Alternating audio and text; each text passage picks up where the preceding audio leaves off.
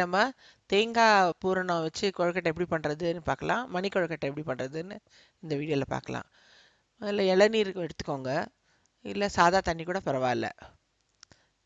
ஒரு அரை டம்ளர் போதும். இல்லை இன்னும் கூட கம்மியாக கூட விட்டுக்கலாம் ஏன்னா வெள்ளம் கரையிறதுக்கு தான் அது. வெள்ளம் பிடிச்சி வச்சுக்கோங்க. இது வந்து தேங்காய் துருவலுக்கு சமமாக இருந்தால் நல்லாயிருக்கும் இல்லை கொஞ்சம் தித்திப்பு ஜாஸ்தி விடணும் கொஞ்சம் வேணால் ஜாஸ்தி போட்டுக்கலாம்.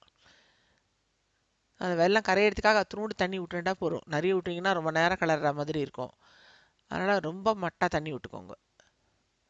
அதுதான் இளநீர் கூட பரவாயில்ல. தேங்காய் உடச்ச தண்ணி எப்படி இருக்கும்ல? ஸோ அதில் வேணாலும் விட்டுக்கலாம்.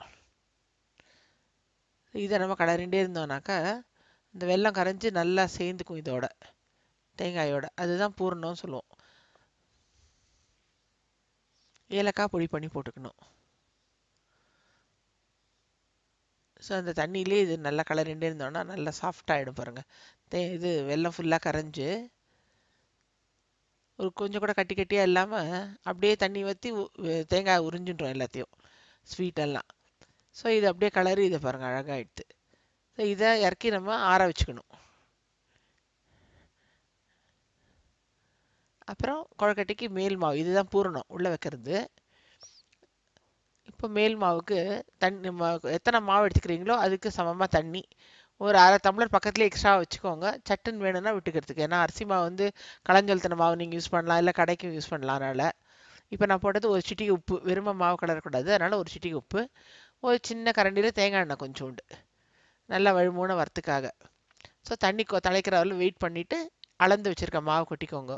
அடுப்பை நல்லா சின்னதாக்கிட்டு கொட்டி கலரணும். பாதி கலரிண்டே இருக்கும்போது அணைச்சிருங்க அடுப்பை. அந்த சூட்லேயே அது ஆகிடும் தேவையான இன்னும் கொஞ்சோண்டு தண்ணி விட்டுக்கலாம் மேலே. இது எண்ணெய் விட்டுக்கலாம் மேலே. இதே அப்படியே ஒரு அஞ்சு நிமிஷம் மூடி வைங்க. ரூம் டெம்பரேச்சர் வந்தோன்னா கொஞ்சம் எடுத்து கையை வச்சு நல்லா அப்படி பிசையணும் அதை. சுடும்.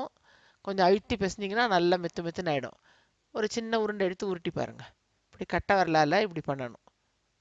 இந்த பாரு அந்த மாதிரி. ஸோ அந்த மாதிரி பொறுமையாக பண்ணி பண்ணி பண்ணி இதை பூரணத்தை எடுத்து எடுத்து உள்ளே வச்சிடணும் கொழக்கட்டைக்கு.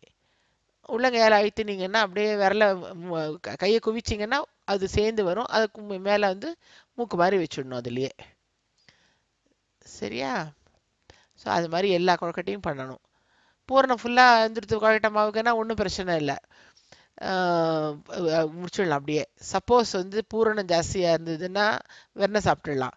ஆனால் மாவு ஜாஸ்தியாக இருந்துச்சுனாக்கா அதை வந்து எப்படி பண்ணுறதுன்றதை இப்போ அடுத்தது ஒன்று காமிக்கிறேன். இதோ இதை மாதிரி நம்ம சீடை குருட்டுவோம் இல்லையா? மணிக்கொழக்கட்டைன்னு சொல்லுவோம் இதை. அந்த மாதிரி உருட்டி அதையும் வந்து நம்ம இதில் கொழக்கட்டை வேக வைக்கும்போது வேக வச்சிடணும்.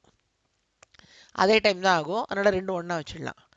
இந்த ஒரு பத்து நிமிஷத்தில் ஆயிடுத்து பாருங்கள் பத்துலேருந்து பன்னெண்டு நிமிஷம் போகிறோம் ஸோ கொழக்கட்டை வந்துடுது அதுவும் வந்துடுது இப்போ அதுக்கு திருமாறிக்கணும் நம்ம. கடுகு உளுத்தம்பருப்பு திருமாறிக்கலாம். வேணால் கருவேப்பிலை போட்டுக்கலாம். துளி பெருங்காய பொடி கூட போடலாம் வேணாக்கா. ஸோ இந்த உருட்டி வே உருட்டி வெந்தது இருக்கு இல்லையா? இதை போட்டுக்கோங்க.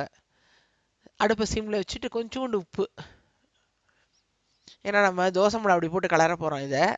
அதனால் அதுக்கு எப்படியும் அதுக்கு உப்பு இருக்கும் இது கொஞ்சம் போடணும். இந்த தோசை மிளகா அப்படி போட்டு இப்படி கலரி எடுத்து வச்சிடலாம். இது ஒரு அருமையான ஸ்நாக்ஸாக இருக்கும். இதில் வந்து இந்த தித்திப்பூ கொழுக்கட்டை இது. இதுலேயே வந்து நம்ம கார கொழுக்கட்டையும் பண்ணலாம்.